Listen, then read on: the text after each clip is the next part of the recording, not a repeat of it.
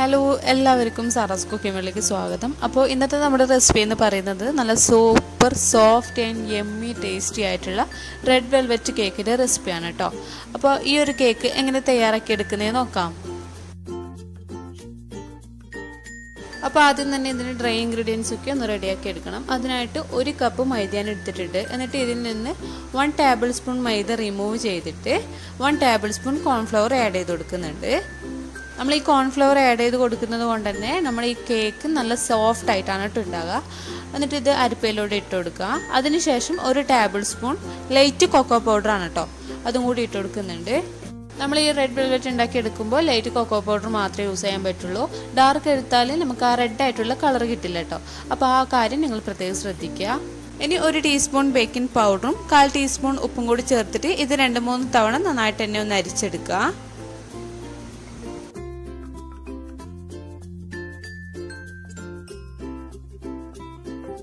അങ്ങനെ രണ്ട് മൂന്ന് തവണ ഇത് അരിച്ചെടുത്തിട്ടുണ്ട്. ഇനി ഇതൊരു സൈഡിലേക്ക് മാറ്റി വെക്കാം അതിനുശേഷം നാല് മുട്ട പൊട്ടിച്ചെടുത്തിട്ട് ഈ ബൗളിലേക്ക് മാറ്റി എടുത്തിട്ടുണ്ട്. പിന്നെ മുട്ട എടുക്കുമ്പോൾ ഫ്രിഡ്ജിൽ നിന്ന് ഡയറക്റ്റ് ആയിട്ട് എടുക്കരുത് കേട്ടോ ഫ്രിഡ്ജിൽ നിന്ന് പുറത്ത് വെച്ചിട്ട് ഒരു പത്ത് മിനിറ്റ് കഴിഞ്ഞതിന് ശേഷം മാത്രം മുട്ട എടുക്കുക കേട്ടോ അതിനുശേഷം ഒരു പിഞ്ച് വാനില എസൻസും കൂടി ഒഴിച്ചു കൊടുത്തിട്ട് ഇത് നന്നായിട്ട് ഈ മുട്ടന്റെ കളർ മാറുന്നത് വരെ നന്നായിട്ട് എന്നെ ഒന്ന് ബീറ്റ് ചെയ്തെടുക്കുക.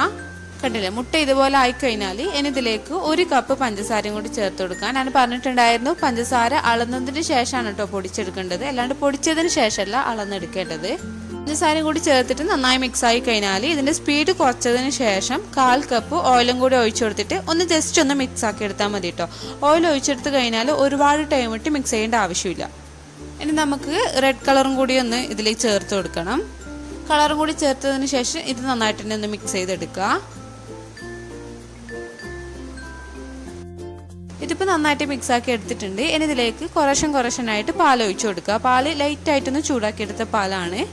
പിന്നെ അരക്കപ്പ് പാലാണ് കേട്ടോ പാലും കൂടി ഒഴിച്ചു കൊടുത്തിട്ട് പതുക്കെ ഒന്ന് ഫോൾഡ് ചെയ്തെടുക്കുക.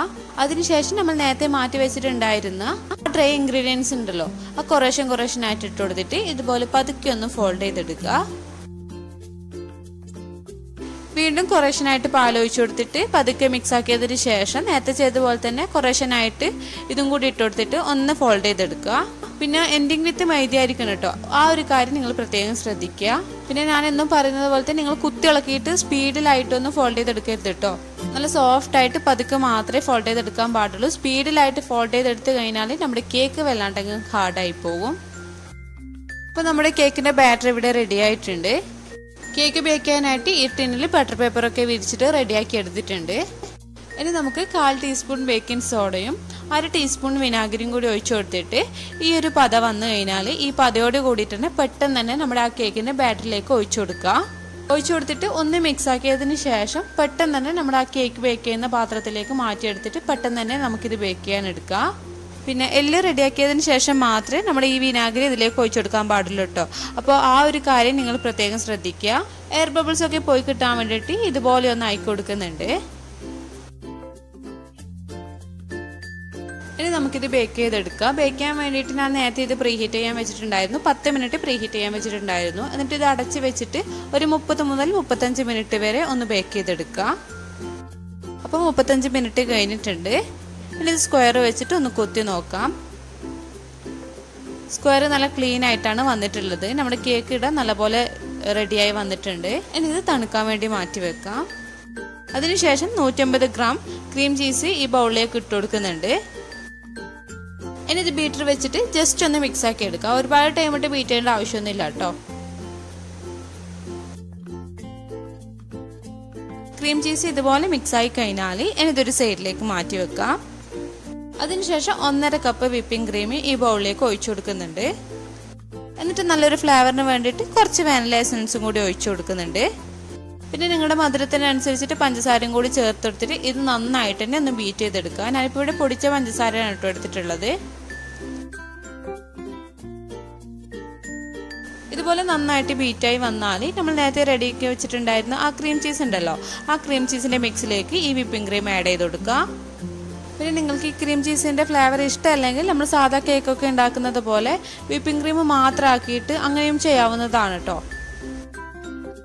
ഇതിപ്പോൾ നന്നായിട്ട് മിക്സ് ആക്കി എടുത്തിട്ടുണ്ട്. ഇതിലേക്ക് ഒരു അരക്കപ്പ് വരെ ഗ്രേറ്റ് ചെയ്ത് വെച്ചിട്ടുണ്ടായിരുന്ന വൈറ്റ് ചോക്ലേറ്റും കൂടി ഇട്ടുകൊടുത്തിട്ട് ജസ്റ്റ് ഒന്ന് മിക്സ് ആക്കി എടുക്കുന്നുണ്ട്. അപ്പോൾ നമ്മുടെ കേക്കിന് വേണ്ടിയിട്ടുള്ള ഫില്ലിംഗ് ഇവിടെ റെഡി ആയിട്ടുണ്ട്. നല്ല അടിപൊളി ടേസ്റ്റി ആയിട്ടുള്ള ഒരു ഫില്ലിംഗ് ആണ് കേട്ടോ ഇത്. ഇതൊരു സൈഡിലേക്ക് മാറ്റി വെക്കാം. അതിനുശേഷം നമ്മൾ നേരത്തെ റെഡിയാക്കി വെച്ചിട്ടുണ്ടായിരുന്ന ആ കേക്ക് മൂന്ന് ലെയേഴ്സ് ആയിട്ട് ഞാനിവിടെ കട്ട് ചെയ്ത് വെച്ചിട്ടുണ്ടായിരുന്നു. പിന്നെ നമ്മൾ കോൺഫ്ലവർ ആഡ് ചെയ്ത് കൊടുത്തതുകൊണ്ട് തന്നെ കേക്ക് ഭയങ്കരമായിട്ട് സോഫ്റ്റ് ആണ് കേട്ടോ പിന്നെ കേക്ക് കട്ട് ചെയ്യുന്ന സമയത്ത് കേക്കിന്റെ അടിഭാഗത്ത് ഇതുപോലെ ഒന്ന് കട്ട് ചെയ്ത് വെച്ചിട്ടുണ്ടായിരുന്നു. ഡെക്കറേഷൻ ഇത് കേക്കിന് മുകളിലായിട്ട് ഡെക്കറേഷൻ ചെയ്യാൻ വേണ്ടിയിട്ടാണ് കേട്ടോ അങ്ങനെ ചെയ്തെടുത്തിട്ടുള്ളത്. നമുക്ക് കേക്ക് ബോർഡ് എടുത്തിട്ട് ഇതിൽ ക്രീം ആയി കൊടുക്കുന്നുണ്ട്. നമ്മൾ നേരത്തെ കട്ട് ചെയ്ത് വെച്ചിട്ടുള്ള ആ ഒരു ലെയർ എടുത്തിട്ട് ഇതിന്റെ മുകളിലായിട്ട് വെച്ച് കൊടുത്തിട്ട് ഇതുപോലെ ഒന്ന് വെറ്റ് ചെയ്തെടുക്കുക. വെറ്റ് ചെയ്യാൻ വേണ്ടിയിട്ട് ഞാൻ ഇന്നും ചെയ്യുന്നത് പോലെ തന്നെ കാൽ കപ്പ് പാൽ രണ്ട് ടേബിൾ സ്പൂൺ മിൽക്ക് മേഡ് ഒഴിച്ചു കൊടുത്തിട്ട് ഒന്ന് മിക്സ് ആക്കി എടുത്തതാണ് കേട്ടോ എന്നിട്ട് ആ ക്രീമും കൂടി ഇതുമേലായി കൊടുക്കുക. എന്നിട്ട് സ്പ്രെഡ് ചെയ്തിട്ട് നല്ല ലെവലാക്കി എടുക്കുക.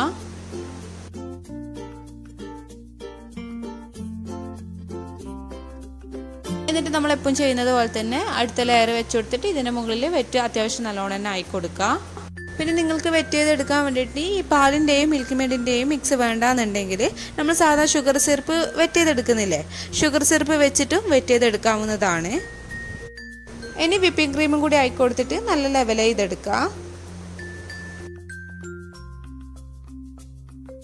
അങ്ങനെ ലാസ്റ്റത്തെ ലെയറും കൂടി ഞാൻ വെച്ചു കൊടുത്തിട്ടുണ്ട്. ഇനി നമ്മൾ നേരത്തെ ചെയ്തതുപോലെ തന്നെ വീണ്ടും ഒന്ന് റീപ്പീറ്റ് ചെയ്തെടുക്കുക.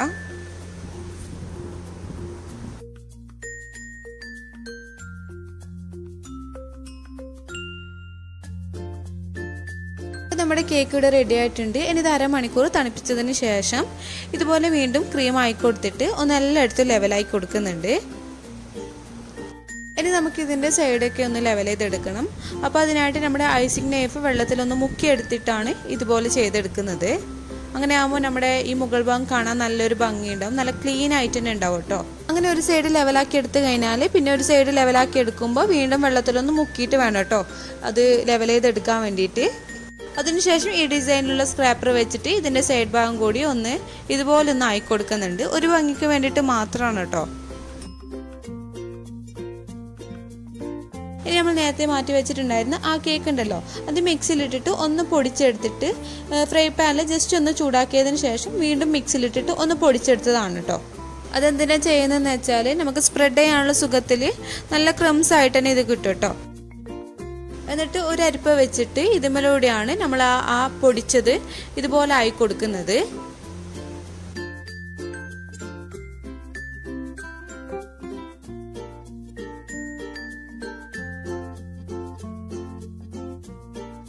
ഇനി ഈ സൈഡിൽ വീണ ക്രംസൊക്കെ ഇതുപോലെ വിരൽ വെച്ചിട്ട് ഇതുപോലെ കൂടി ഒന്ന് ആയി കൊടുക്കുക.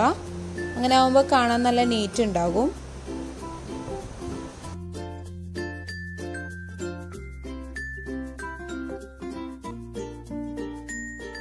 അങ്ങനെ നമ്മുടെ സൂപ്പർ ടേസ്റ്റി ആയിട്ടുള്ള റെഡ് വെൽവെറ്റ് കേക്ക് ഇതാ ഇവിടെ റെഡി ആയിട്ടുണ്ട്. ഇതൊരു ആറ് മണിക്കൂർ നന്നായിട്ട് തണുപ്പിച്ചതിന് ശേഷം സെർവ് ചെയ്യാം.